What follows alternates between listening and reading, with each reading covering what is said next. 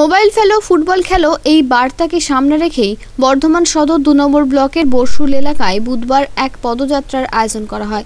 স্থানীয় একটি স্বেচ্ছাসেবী সংস্থা এবং চ্যারিটেবল ট্রাস্টের যৌথ উদ্যোগেই আয়োজিত হয়। মূলত কিশোরদের ফুটবল খেলায় আগ্রহ বাড়ানো ও ফুটবল খেলার প্রসারকে আরও বেশি প্রসারিত করার জন্যই এই উদ্যোগ।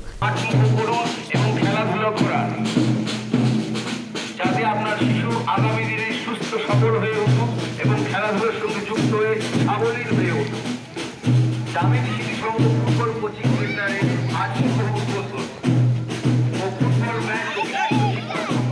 চার দলীয় এই ফুটবল খেলার সূচনা করবেন বর্ধমান উত্তরের বিধায়ক নিশীত কুমার মালিক তার আগেই এই পদযাত্রা এখানে কি কর্মসূচি হচ্ছিল আজকে আমরা একটা কর্মসূচি নিয়েছি যেটা আমরা দেখতে পাচ্ছি যে দৈনন্দিন সমাজে বাচ্চারা তারা মোবাইলের প্রতি আসক্ত একদম ছোট্ট শিশুরা তারা মোবাইল নিয়ে বসে আছে সারাক্ষণ, তারা মাঠমুখী হচ্ছে না।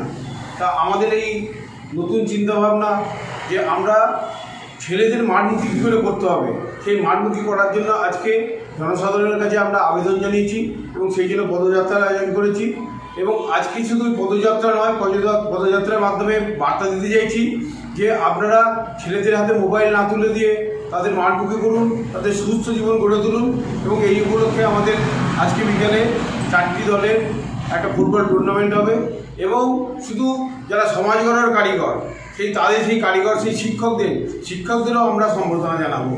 বর্ধমান থেকে পিন্টু প্যাটেলের রিপোর্ট আনন্দ বার্তা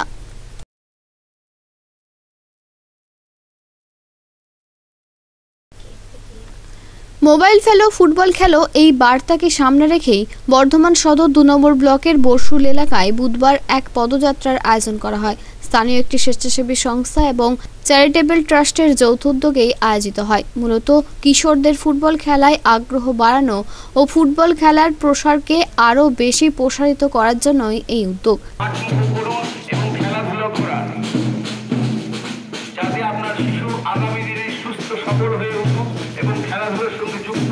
সাবলীল হয়ে উঠুক দামিনী সংঘ ফুটবল কোচিং সেন্টারে আজ।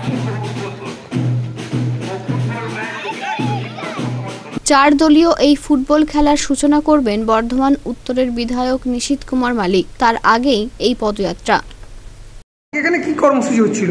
আজকে আমরা একটা কর্মসূচি নিয়েছি যেটা আমরা দেখতে পাচ্ছি যে দৈনন্দিন সমাজে বাচ্চারা তারা মোবাইলের প্রতি আসক্ত একদম ছোট্ট শিশুরা তারা মোবাইল নিয়ে বসে আছে সারাক্ষণ, তারা মাঠমুখী হচ্ছে না।